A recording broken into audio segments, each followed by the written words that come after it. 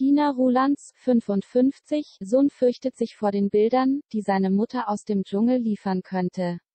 Die Schauspielerin gehört dem diesjährigen Dschungelcamp-Cast an. Ab dem 21. Januar muss sich die Manta, Manta-Darstellerin unter anderem in waghalsigen Prüfungen beweisen. Doch einer hat bei Tinas Teilnahme an der Reality-Show jetzt schon gemischte Gefühle, ihr Sohn hat Angst, dass seine Mama ihn vor laufenden Kameras blamiert. Mein ältester Sohn Javis ist 17, der war zunächst nicht so begeistert. Ich musste ihm versprechen, auf keinen Fall peinlich zu sein, verriet Tina im Interview mit Bunte. Außerdem versprach sie ihrem Kind, tapfer bei den Prüfungen zu sein.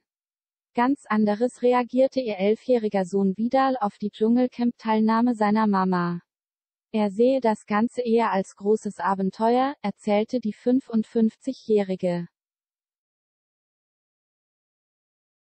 Doch wie ergeht es Tina selbst, wenn sie daran denkt, bald im Dschungel von Kakerlaken und Spinnen sowie anderen unliebsamen Mitbewohnern umgeben zu sein? Das fürchtet die Mutter alles nicht, betonte sie. Doch eine Sache wird ihr zu schaffen machen. Am meisten Respekt habe ich vor dem Hunger, ich habe noch nie in meinem Leben gehungert, hielt Tina fest. Sie habe außerdem noch nie eine Diät gemacht. Ich habe wirklich einfach nur gute Gene, weiß die gebürtige Kölnerin.